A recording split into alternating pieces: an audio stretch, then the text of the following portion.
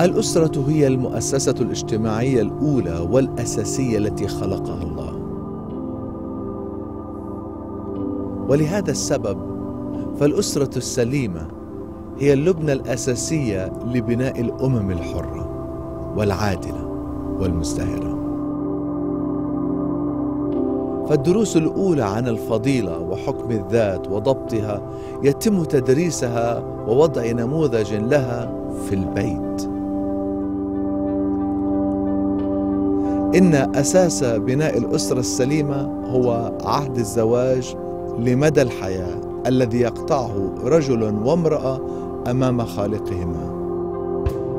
لقد صنع الله الزواج وعلى هذا فهو مؤسسه ومقدسه يقوم فيه الزوج بالقيادة والخدمة المضحية ويعمل على توفير الحماية وكل ما يلزم لأهل بيته والزوجة تساند زوجها وتطعم أطفالها بكل تضحية فضلا عن أنها تساعد في خلق جو من المحبة والأمان في البيت.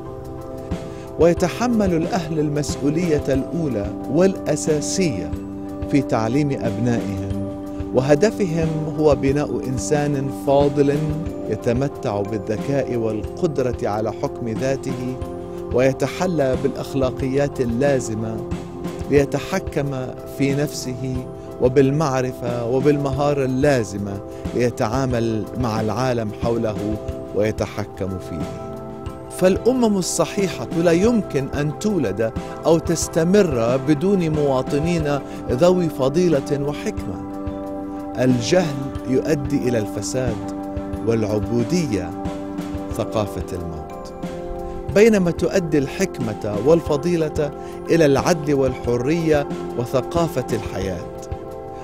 فالأمم الحرة والعادلة والمزدهرة تحترم وتحمي وتحافظ على المؤسسة الأساسية للزواج والأسرة كما تقدر وتهتم بتعليم مواطنيها.